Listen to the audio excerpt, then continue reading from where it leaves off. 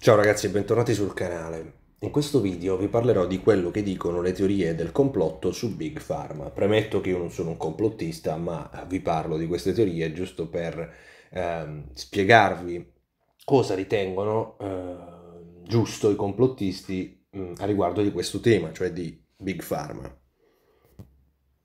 Secondo i complottisti oramai eh, le aziende più potenti in ambito farmaceutico investono di più in marketing e sempre meno in ricerca, proprio perché i farmaci sono diventati, secondo loro, dei prodotti commerciali per avere un tornaconto economico.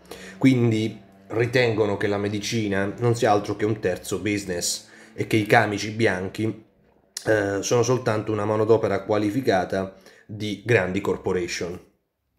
Magari alcuni aspetti sono veri, come è vero che mh, mm, nel 2017 grosse aziende farmaceutiche sono arrivate a fatturare 437 miliardi di dollari, quindi è vero che in piccola parte c'è un interesse al business, un minimo business c'è, ma allo stesso tempo non è vero che sia soltanto un discorso di marketing o di voler propinare farmaci soltanto per eh, guadagnare ovviamente.